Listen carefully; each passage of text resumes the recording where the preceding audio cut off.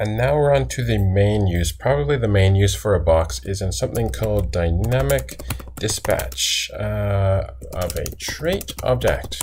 And that means uh, dynamic dispatch means uh,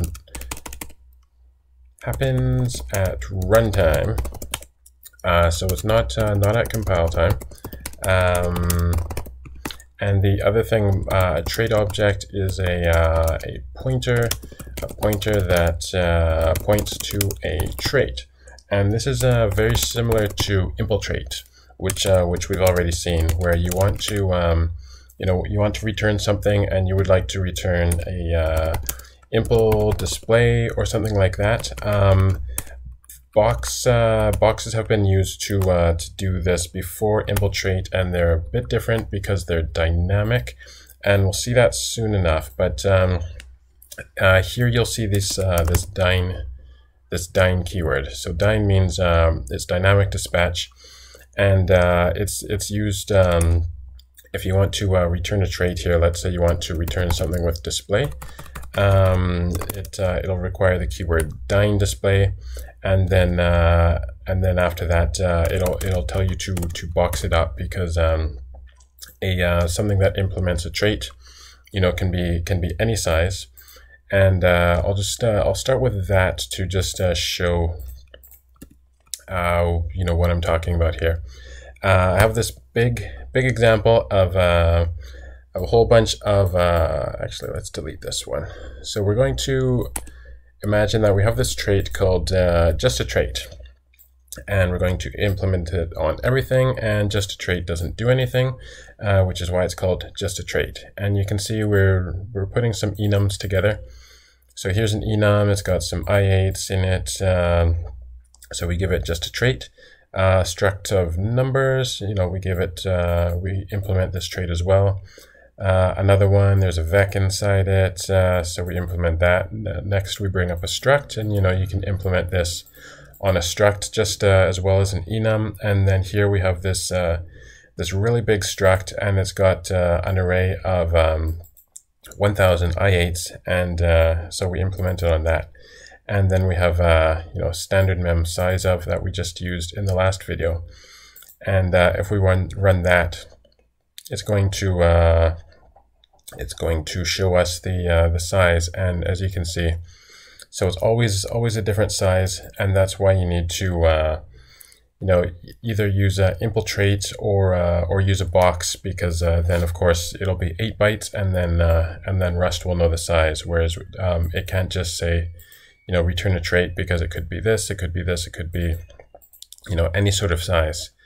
And uh, so this let's uh, let's make that function. Let's just say we want to um, return a trait. So function returns uh, trait, and uh, we would like to say just a trait. So we would like to return something with just a trait, and then inside that, um, you know, we have this enum of numbers here. So let's uh, let's make one of these enum of numbers and uh, this will be you know we'll choose this uh, this branch here and let's put a number inside of it and then some enum and then we would like to return it. And uh, let's look at the error message to see exactly what it says.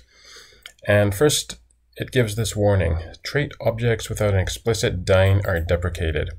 And this is uh, it's not uh, it's not an error because uh, Rust used to uh, do this without uh, without the dyn keyword, but then uh, it, it was confusing because uh, it was it was hard to tell that you were talking about uh, a trait. You know, it could look like a, a, struct or an enum or something like that, and so they decided on a on a dyn keyword, but um, they didn't want to to make it an error because then you know the old code without the dyn keyword would break. So you know they just said uh, they, they give you this warning and then um, everybody started using it.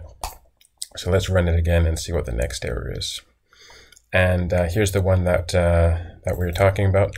So return type cannot have an unboxed trait object. And so there's that word trait object again, which uh, as we remember is a pointer to a trait. And a, uh, a box is a pointer. Um, it's a smart pointer, but it's a pointer And so uh, what we're going to do is uh, box it up. So we'll do that. So instead of returning something that could be any size, we are returning something that is uh, exactly exactly eight bytes. And uh, so now we can um, we can say, okay, you will you will get this uh, this uh, anything that implements just a trait. It could be this, it could be this. They they all implement it, and they are various sizes.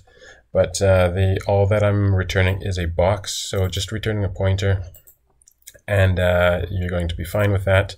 And the rest of it is uh, way off on the on the heap, uh, and uh, you don't you don't have to worry about that because the uh, the compiler is worried about you know what's the size on the stack. So when you do that, it um, it runs, and um, so that is um, how it works and you might be wondering, you know, what is what is the point of um, dynamic versus uh, static? Like, why don't we just do uh, impl trait? And actually, in this uh, in this case, it will work.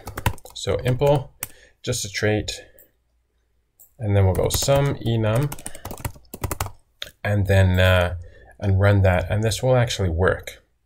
And uh, and then you might think, okay, I I don't uh, that's cool. I don't have to th think about boxes. Uh, boxes look more complicated. Uh, I'm just going to do impl everywhere. Uh, but there's actually um, there's a reason that uh, you would sometimes use box, and I'm going to uh, show you in the next video an example where uh, where just doing this impl will not work, and it'll it'll generate an error.